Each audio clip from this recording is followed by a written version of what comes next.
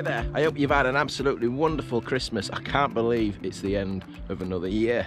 And welcome to my 2023 review videos where I just have a little review of uh, what we got up to this year and I'll let you know my top five. Before we do, let me know what your highlight was of, uh, of 2023 of all the things that we've covered this year. So leave me a comment below and see if that tallies up with, uh, with my top five at the end of the video.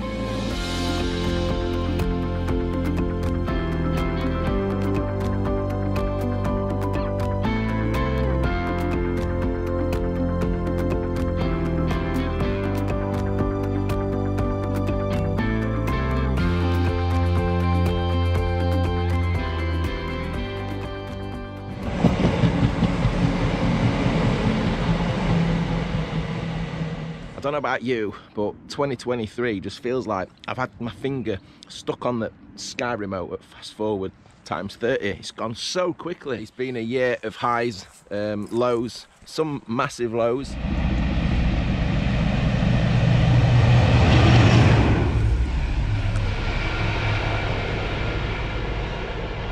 What you see when you hang around tunnel portals, isn't it? So you might know, you might not know, depends if you were watching the channel at that time, but I spent the majority of the summer laid up with uh, a, a, double broken leg and a, an ACL injury, so not a great start uh, to the summer. Um, so I, I, wasn't really doing much around May, June, July, uh, and then a few months I couldn't really do my railway walks, uh, scramble around, so I had to diversify. So visited quite a few places that I wanted to uh, to visit. We started filming around a few heritage railways. Which ones have we done? Day out at Barrow Peak Rail, that was a great day. Lincolnshire Wolds Railway. My award for best heritage railway that I visited this year, I think it has to be the Churnet Valley Railway. Well, the railway was great, uh, and that American um, steam locomotive, the power of it, wow. I think it took a I think it took a few days for the eardrums to, uh, to return back to normal.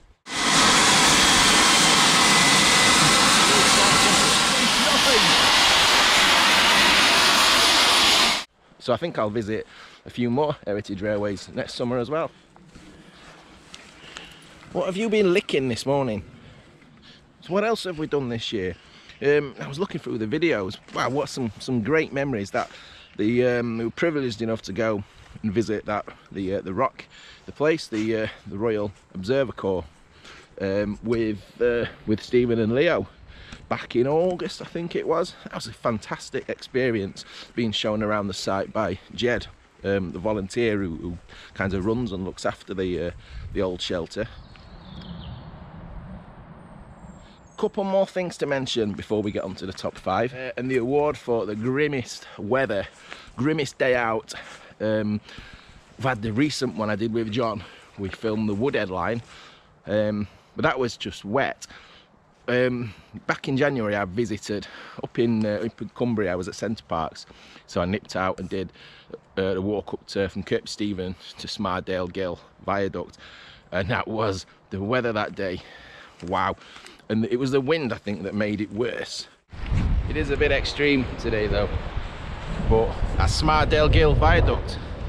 I'm struggling to hold on to the camera it's that windy.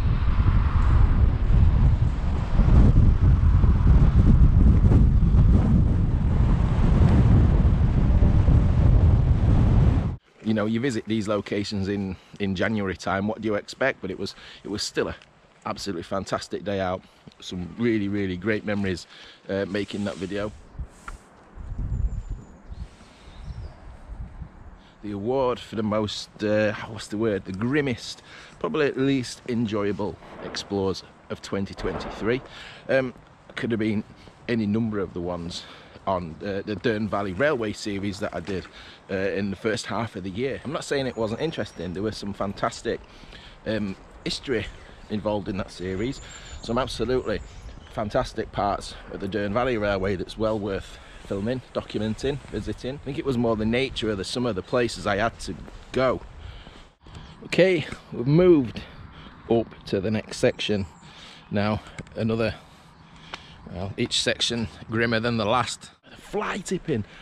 Some of those, I mean, where is it? I parked up in the lay-by and had a walk. I can't remember the names of the location now. just north of uh, New New Houghton. Um, oh, some of the fly tipping in that lay-by and on the side of the old railway sidings. Oh, it was just awful. Just, just flashing you some things um, as I walk past today. Can you jump over? Come on, it's just a gap. Come on, jump. Good boy. So that's the dirty weather and the dirty places. That's the negative ones out of the way. Um, restoration. So best restoration stuff this year. I went up to the yorkshire wolds railway didn't i? In august i think it was. Um, great piece of work that they're doing there. Really look forward to visiting again in the future and seeing that seeing how they're getting on. Um, been seeing on facebook. They are making good progress with the old Sprotbrough signal box as well. Fantastic work guys. But for me on a personal level i have to give the award for the best restoration stuff that I've covered this year 2023 to the guys at Clowne Clowne Local History Society. Oh no. Doesn't look like anyone's here this morning.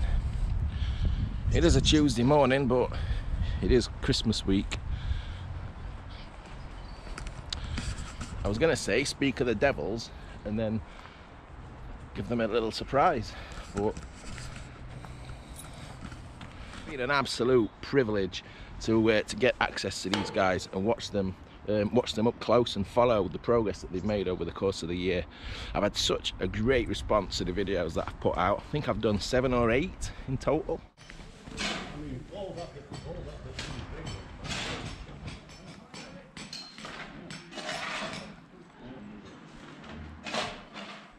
It's not in my top five because um, I think it deserves its own special mention, but this is probably the highlight of 2023 for me, watching this develop. Never mind, we'll catch up with the Clowne Local History Society in the new year, I suppose. You need a reminder just of the great work they've done, and I know I've shown this so many times, but let's have a look at these before and after shots of that site we've just been stood at.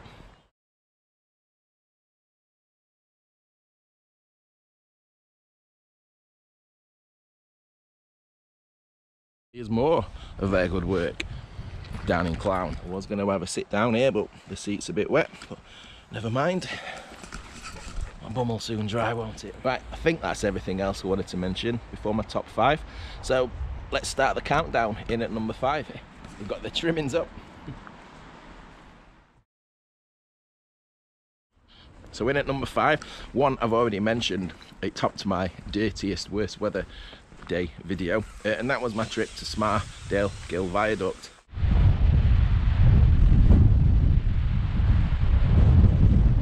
So I was driving down the M6 um, and I think around Shap area, you know, the really, really exposed bit on the top.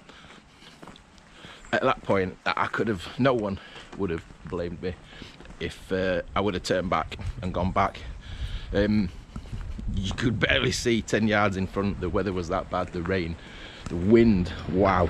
Uh, I got out of the car at Kirkby Stephen um, went and had a look around at the um, the railway the heritage railway there and it did get a bit better. I think I had a little bit of a window um, fantastic viaduct loved seeing the lime kilns and the, the scenery in general just walking through those gorges was fantastic well worth a visit there if you're in the area.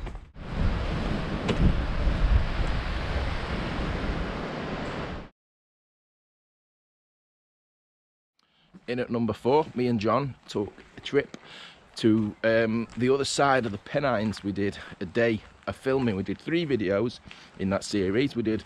We started off at the old Dinting shed, had a look around the Dinting, some of the old station buildings, and the Dinting Railway Centre so many childhood memories uh, were fetched back from that visit.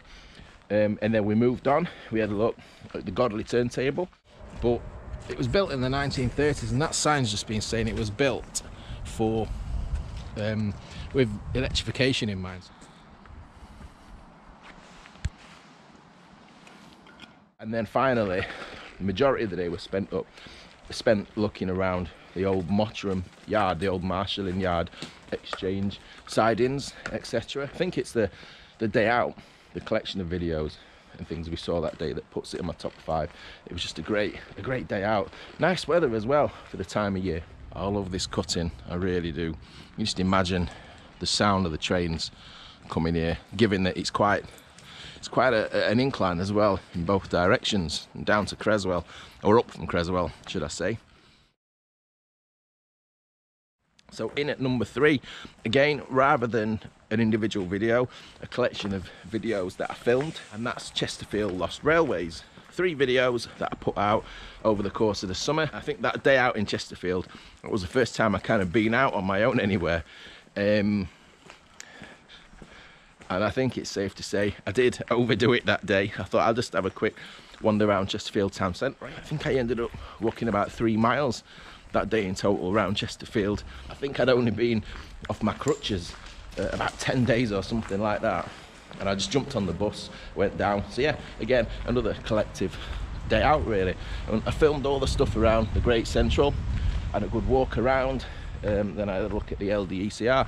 Um, but then we had another day out, about a month later, me and Phil went and had a look at the Brampton branch. Something which there's not too much of uh, left behind. It took a bit of a imagination, but I love those doing those videos where there's a bit of detective work involved. You kind of you, you've got the old maps, you've got occasionally got a collection of old photos, and you're trying to piece it all together with what's there now. Yeah, great fun. See the wooden sleepers in amongst the grass there. Look. Actually, if them trees were in there, that'd be a reasonable shot of a track bed, wouldn't it? Yeah. Straight through there. You see the edge of the platform. Well, actually, it's still coming alongside of us here, isn't it? Look, well, what we're assuming to be a platform. Switch all this broken glass. Yeah, but somebody walk, might walk here in 2050 and this might not be at all then. You've got to remember that every generation there's changes, isn't there? Yeah. So we they might be gagging for something like what we've just seen there in, in 30 years. and I've not finished that series. Um, I've been out filming uh, a couple more videos to go with that, so keep your eyes peeled for those. Top two. It's getting serious now, isn't it? So I'm going to put at number two. Uh, series we're still in the process of filming right now, and I think it's going to be going um, probably until this time next year with the amount of stuff there still is to look at. And that's the Cromford and High Peak Railway series. Me and Phil started filming that back in August time. We did that first day of filming where we filmed four episodes between um, the original High Peak junction off the off the main railway line up to Middleton Top. Oh, I can't believe it's the end of the climbing for today. Middleton top. Again. Might be wind. And the icing on the cake was just being able to see the Middleton um, engine working that day. The pump house, that costs £400 a day in coal. This costs 40 pence an hour in electricity. It? There we go. If you watch carefully, you can see the wagons are just coming up the incline.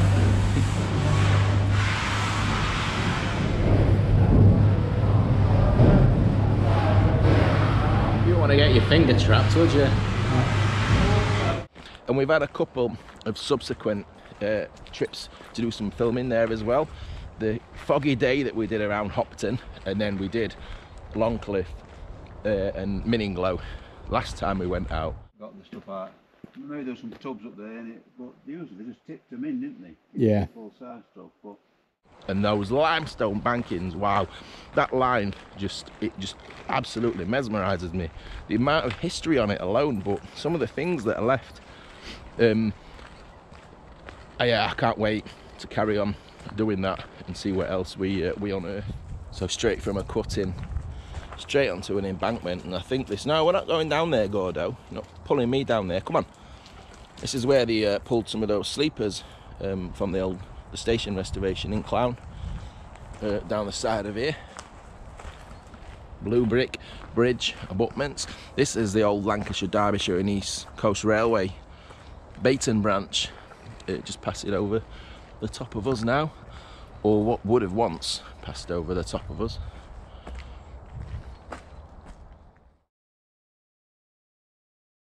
So without further ado, number one, what's been my favourite video experience of 2023?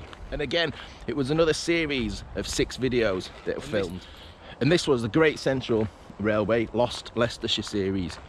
This collection of videos was why I got into doing this type of thing. So it started that day, I think it was, that was an early start that day. I think we started filming it around 8 a.m. from the site of the old Lutterworth station. We made our way various locations.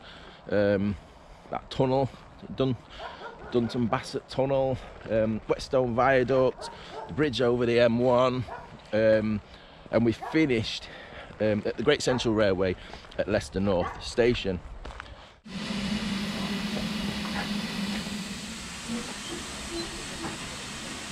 So the highlight of that trip for me was undoubtedly having a look round all the old Great Central Railway stuff in Leicester City Centre, the old Leicester Central Station, those viaducts, wow, what a sight that must have been when it was still open.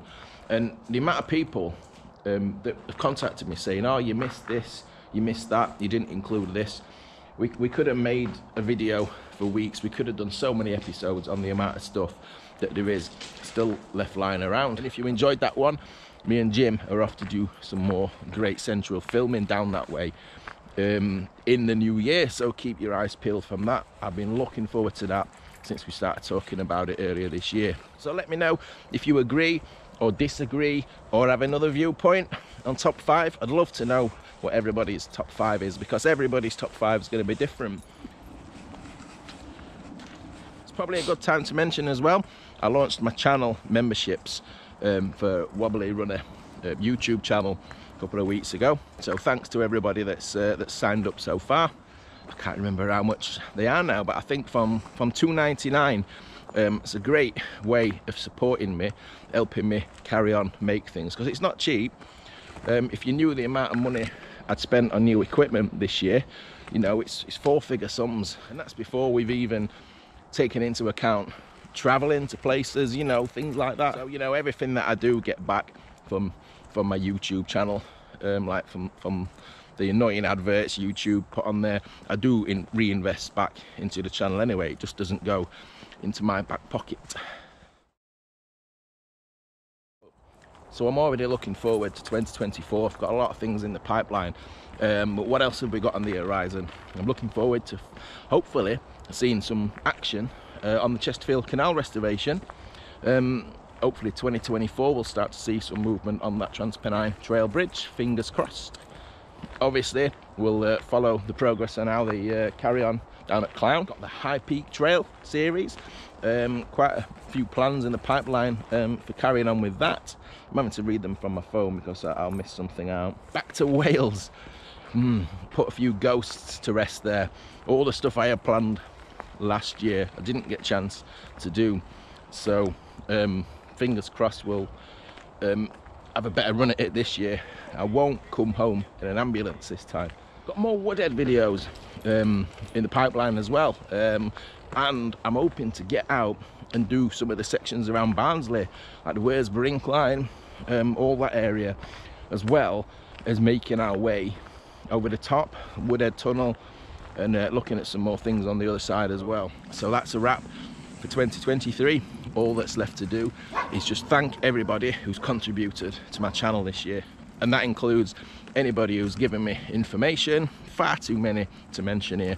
Um, anyone who's given me permission to use their photographs, they make such a difference. But a big thanks to, uh, to those that have appeared in my videos this year I've had to make a list, quite a list this year. I did miss Paul off last year, so I thought I'm writing them down. So, in no particular order, we've got Jim, Phil, John, Stephen, and little Leo, uh, Paul, forgetting Paul this year, uh, Renton, Adam, and all the guys at Clowne History Society, um, and uh, and finally Julian up at the Yorkshire Wolds. Special thanks, not that they'll be watching uh, this video but uh, special thanks um, to the Barmouth Coast Guard and the uh, guys from the ambulance station at Barmouth as well. Um, who knows where I'd be without you guys so cheers probably washed out to sea by now So all that's left for me to say is Happy New Year to everybody. Hope you have a fantastic New Year's Eve, whatever you're doing. I'll probably be in bed for half past 10. That's how things seem to go this way. So cheerio and we'll see you all in 2024.